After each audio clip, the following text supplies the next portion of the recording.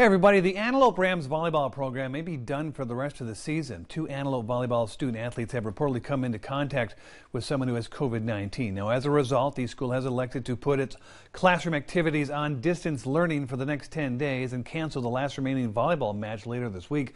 However, the football team will play its season finale on the road against Trivium Prep this coming Friday night. The Arizona Western College soccer program scored a clean sweep to finish off the regular season this past Saturday. The sixth ranked men's played a close match with the Pima Aztecs down in Tucson, but still prevailed with a 1 0 win, finishing the regular season. Get this 17 0. Meanwhile, the Lady Mats also secured a victory against the Lady Aztecs. Both the men's and women's teams will host the Region 1 final this Friday night, and both teams will take on Yavapai for the right to move on to the district final. Staying on campus, the Arizona Western College Matador volleyball team will be competing for the ACC AC Conference Championship this week. They currently hold a one game lead in the standings. This Wednesday, the Lady Mats will host Scottsdale at 7 o'clock for sophomore night. Arizona Western will wrap up the regular season on Friday Eh, at Yavapai.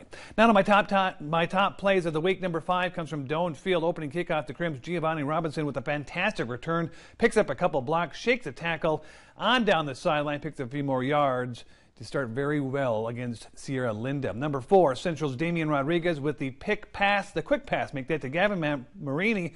And Marini does the West, weaving in and out of traffic on his way to the long touchdown. He is loose. And number three takes us to Imperial there's going to be some confusion in the Calexico backfield, and the Tiger defense jars the ball loose. Scooped up by Pablo Moreno, who takes it 63 yards for the score. Imperial would win this one. Now, on to number two. Check out Yuma Catholic's Richard Stallworth, and he somehow avoids a sack, moves to his left, and finds senior Devin Black here shortly and Black is going to race down the sidelines. Yes, all the way down inside the 10 yard line. My number one play of the uh, week comes from the Central Spartans again. Damian Rodriguez shakes off a defender, then lets it loose. And hello, Charlie. Charlie Sullivan catches it in stride, goes in for the score.